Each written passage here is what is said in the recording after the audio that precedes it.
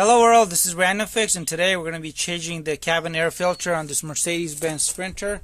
So whenever I go camping, people always tell me about the crazy amount of money they're actually spending on servicing their Mercedes, like $500 for the oil change and I'm always surprised. So today I'm going to show you guys how to change the cabin air filter on this car and this is going to be one of the easiest to change cabin filters and most cars the cabin filter is actually located inside the cabin and on this car we don't need any tools. We're not going to need anything. I'm going to show you how to do this within minutes.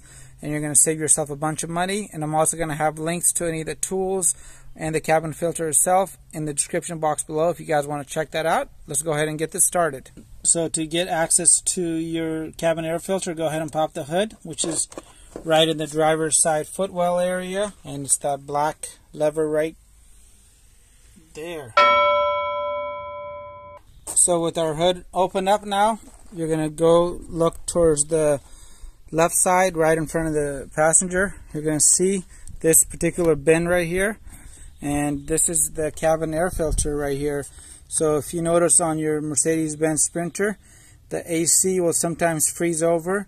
And one of the causes of it is going to be the cabin air filter. If you put it in the 3 o'clock position, it does help a little bit. However, you want to make sure you never have a dirty cabin air filter and before I pop these out on here what I like to do is grab myself a vacuum or a leaf blower really clean that out because there's no point in cleaning in this and then having all those contaminants down there get back in.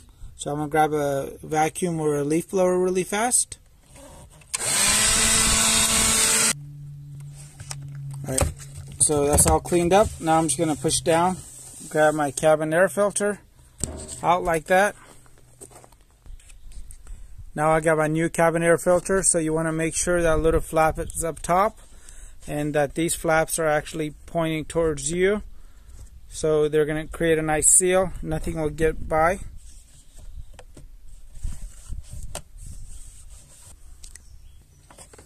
Once you got the bottom lined up there in the ridges and that was clean, just push back and your cabin air filter has been changed and you did all that within two minutes and saved yourself some money. Alright guys, I hope the video helps you guys out. If you guys have any comments or questions, please leave them below. I'll have a link to any of the products that I use in the description box below.